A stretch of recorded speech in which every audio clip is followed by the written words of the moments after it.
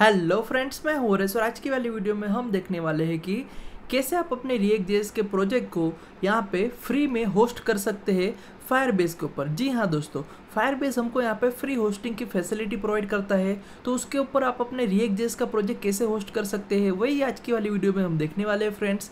चलिए तो बिना किसी देरी के आज का काम हमारा स्टार्ट कर लेते हैं। ओके अब सबसे पहले मैं आपको दिखा देता हूँ, ये रहा मेरा रिएक्ट जेस का प्रोजेक्ट इसको अगर मैं लोकली रन करना चाहूँ तो यहाँ पे लिख सकता हूँ, यान स्टार्ट या तो फिर n p m run start ठीक है? आप यहाँ पे इसको लोकली स्टार्ट कर सकते हैं। अब जैसे ये स्टार्ट होगा तो यहाँ पे लोकल होस्ट के ऊपर ये रन होगा। चलिए मैं इसका आउटपुट आपको दिखा देता हूँ। तो ये देखो यहाँ पे लोकल होस्ट के ऊपर ये रन हो चुका है। जो डिफ़ॉल्ट हमारी ऐप आती है, उसका यही आउटपुट होता है। तो ये जो है, वो मेरा प्रोजेक्ट है, ठीक है? तो आप सोचो कि आपने इस प्रकार से पूरा रिएक्ट जेस का प्रोजेक्ट बना दिया है। अब आपको उसको डिप्लॉय करना है, यानी लाइव अपने वेबसाइट के ऊपर रखना है होस्ट करना है। तो वो चीज़ आप यहाँ पे कैसे करेंगे? तो इसके लिए हम यहाँ पे प्लेटफॉर्म यूज़ कर रहे हैं होस्टिंग के लिए, और वो है फायरबेस फायरबेस हमको यहाँ पे फ्री में होस्टिंग की प्रोवाइड करता है सर्विस तो मैं यहाँ पे जाऊँगा ब्राउज़र के अंदर और ये देखो सिंपली आपको यहाँ पे ओपन करना है फायरबेस का कॉन्सोल तो सिंपली आपको एक अकाउंट बनाना पड़ेगा। अकाउंट के साथ यहाँ पे लॉगिन करेगा तो यहाँ पे सिंपली यही इंटरफेस आपको दिखेगा।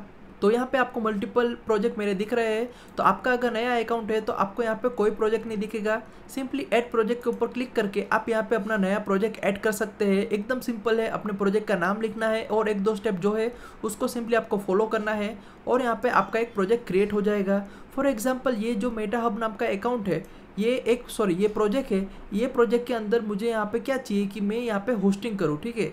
तो ये प्रोजेक्ट मैंने ओपन कर लिया है। अब ये रखो यहाँ पे ये होस्टिंग का ऑप्शन है।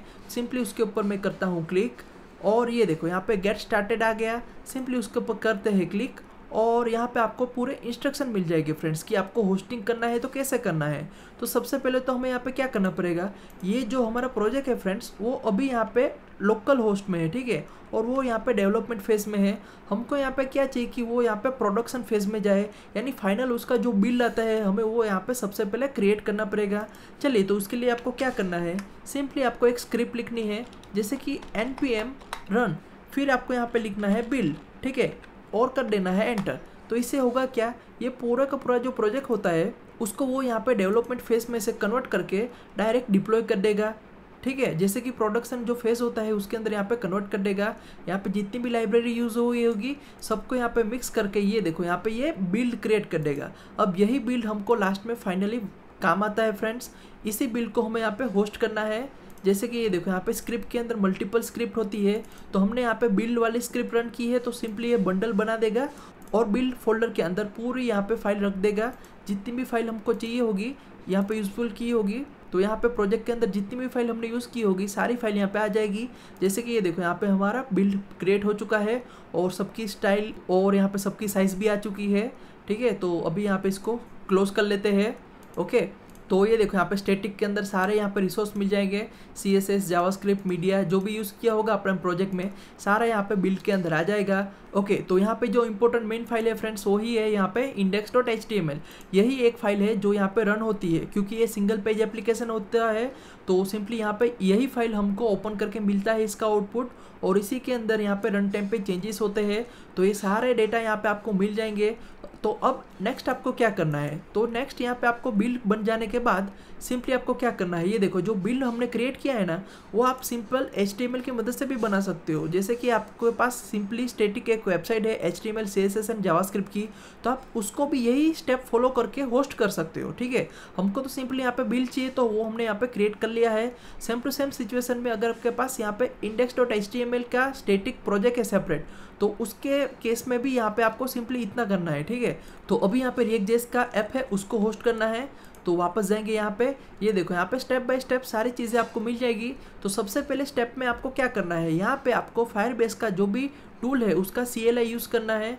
तो सबसे पहले तो उसको इंस्टॉल करना पड़ेगा। तो सिंपली ये कमांड लिखा है तो यहाँ पे कॉपी कर लेते हैं और यहाँ पे टर्मिनल के अंदर जाके सिंपली उसको रन कर लेते हैं। जैसे कि मैंने यहाँ पे कॉपी पेस्ट कर लिया है, अब सिंपली करेंगे एंटर तो ये पैकेज यहाँ पे इंस्टॉल होना स्टार्ट हो जाएगा। चलिए अब यहाँ पे इसको इंस्टॉल होने देते हैं। ओके और ये देखो यहाँ पे पैकेज सक्सेसफुली इंस्टॉल हो चुका है। तो अब नेक्स्ट स्टेप क्या है? तो सिंपली यहाँ पे आपको जाना है नेक्स्ट ओके अब नेक्स्ट स्टेप में यहाँ पे लिखा है कि आपको सिंपली ये दो कमांड यहाँ पे यूज़ करने हैं, और वो भी कहाँ पे? जहाँ पे भी आपका प्रोजेक्ट है, उसकी रूट डायरेक्टरी में।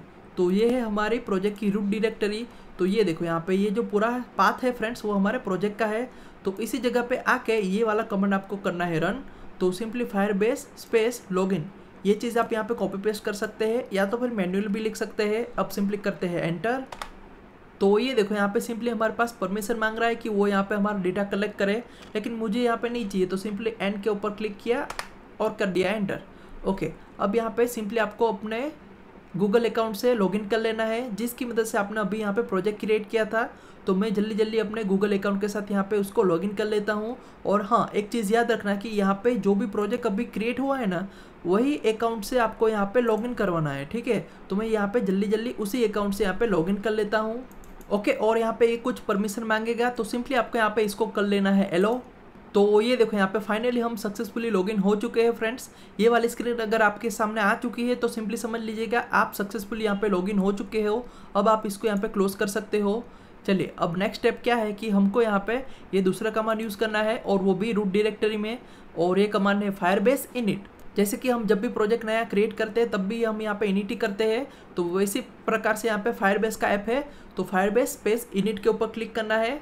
ओके चलिए अब यहाँ पे जाएँगे और यहाँ पे सीएमडी में जाके सिंपली कर लेते हैं पेस्ट यहाँ पे नया अकाउंट क्रिएट होने जा रहा है फ्रेंड्स सॉरी यहाँ पे एक नया प्रोजेक्ट बनने जा रहा है फायरबेस का और वो यहाँ पे इसी जगह पे फ़ाइल स्टोर करेगा तो सिंपली आपको एक एक स्टेप यहाँ पे ध्यान से देखना है यहाँ पे सबसे पहले आपके सामने ये पूछ रहा है कि are you ready to process तो सिंपली यहाँ पे यस एंटर अब यहाँ पे बहुत सारे ऑप्शन आपके सामने आ चुकी है फ्रेंड्स तो यहाँ पे आपको क्या करना है ध्यान से देखना है हर एक ऑप्शन को जैसे कि हमको यहाँ पे चाहिए होस्टिंग ठीक है होस्टिंग के अंदर यहाँ पे हम मैन्युअली होस्ट करने वाले हैं मैन्युअली डिप्लॉय करने वाले हैं।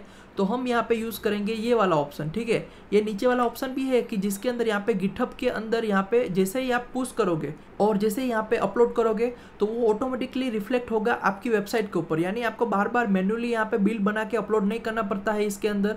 सिंपली गिटहब का अकाउंट यहाँ पे लिंक करने का होता है। तो सिंपली आप अगर यहाँ पे गिटहब का लिंक कर देते हैं अकाउंट तो सिंपली ये ऑटोमेटिकली जैसे ही पुश होगा तो वो ऑटोमेटिकली यहाँ पे लाइव रिफ्लेक्ट उसका यहाँ पे आपको दिख जाएगा।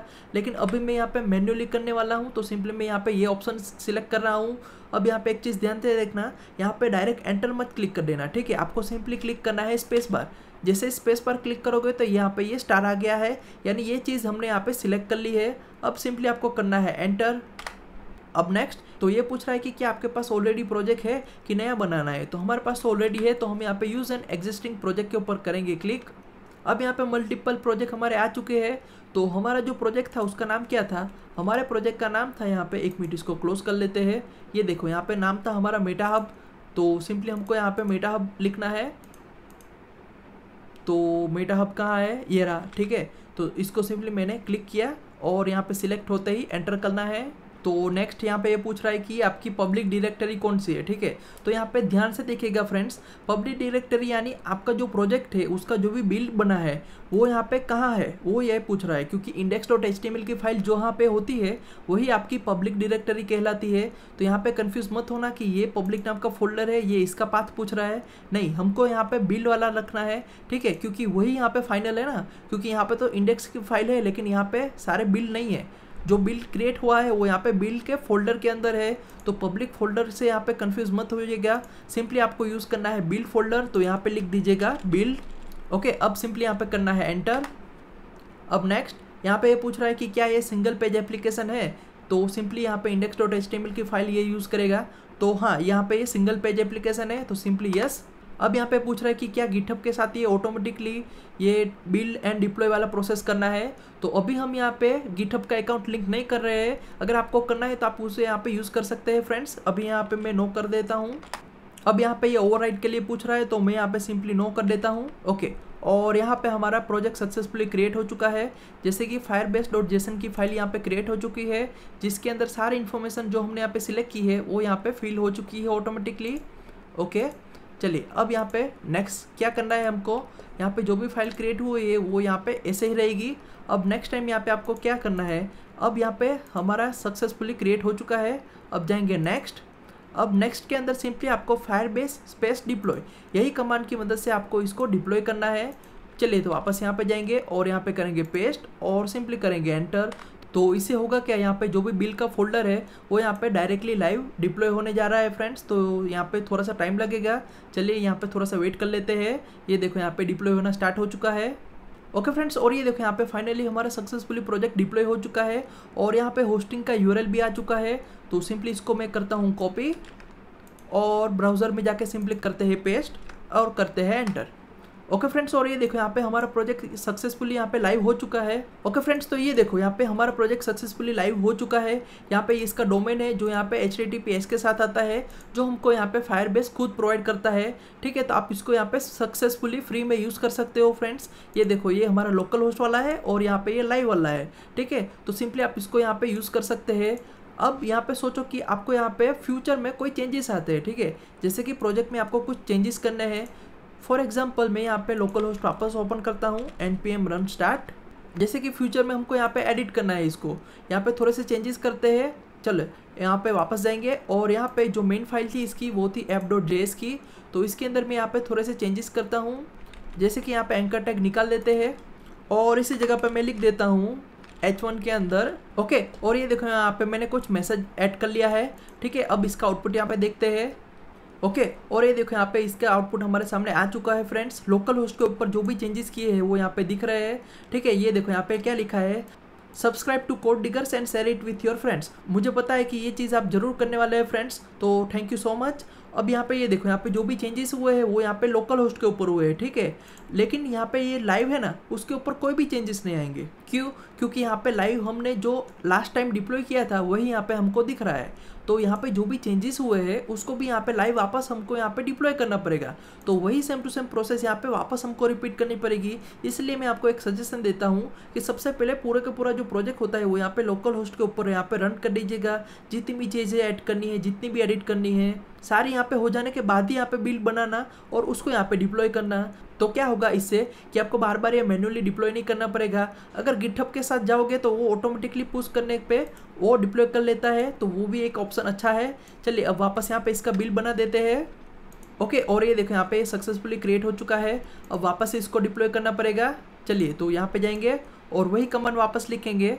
जैसे कि फायर बेस डिप्लॉय सिंपली इसको यहाँ पे कॉपी करता हूँ और यहाँ पे करता हूँ पेस्ट और सिंपली करते हैं एंटर तो वही सेम टू सेम प्रोसेस यहाँ पे रिपीट हुई है फ्रेंड्स तो यहाँ पे अभी जो लेटेस्ट बिल होगा वो यहाँ पे डिप्लॉय हो रहा है और वही चीज़ यहाँ पे लाइव डोमेन के ऊपर चेंजेस मिल जाएँगे आपको चलिए अब यहाँ पे इसको डिप्लॉय होने देते हैं ओके और ये देखो यहाँ पे सक्सेसफुली डिप्लॉय हो चुका है और डोमेन भी वही है तो सिंपली यहाँ पे जाएँगे ये देखो यहाँ पे डोमेन वाला है तो सिंपली इसको रिलोड कर लेते हैं अब यहाँ पे सारे चेंजेस यहाँ पे आ चुके होंगे ओके, और ये देखो, यहाँ पे सक्सेसफुली ये चेंजेस हमारे सामने आ चुके हैं फ्रेंड्स तो इसी प्रकार से आपको यहाँ पे फ्री में होस्टिंग की फैसिलिटी मिल जाएगी। ओके okay फ्रेंड्स तो ये वीडियो आपको कैसा लगा, मुझे नीचे कमेंट सेक्शन में ज़रूर बताएगा और हाँ इसको अपने दोस्तों के साथ शेयर करना मत भूलिएगा। तो फिर मिलते हैं नेक्स्ट वीडियो में।